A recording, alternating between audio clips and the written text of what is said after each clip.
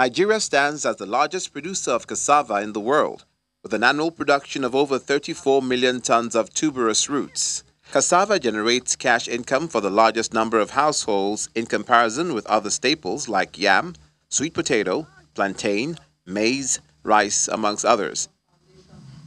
As the largest producer of cassava, as at 2021, a new seed system approach is being developed to compete globally and keep the price of cassava-based food stable and affordable in the country. Food system experts at the International Institute of Tropical Agriculture, IITA Ibadan, describe cassava as the engine of economic growth, stressing that Nigeria must take advantage of the economic potentials of the root crop. We have created a network of uh, young people, uh, farmers in communities, more than 400 as I speak to you, that are producing improved varieties.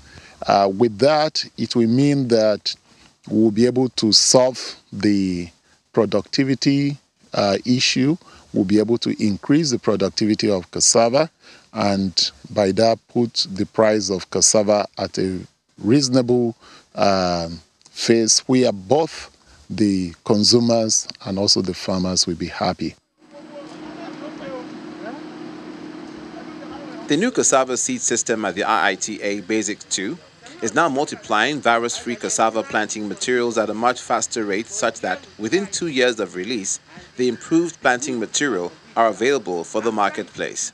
Currently, we have multiplied. Unlike before, when those varieties are improved, they are just on the shelf because there is no channel, there is no way to um, quickly multiply them and make them available and accessible to farmers. But now, all those are challenges of the past. With the GoSeed, we're able to commercially multiply and produce these quality materials of these improved varieties and make them, you know, available to farmers. For farmers interested in seed production, more information is given on the profitability of the venture.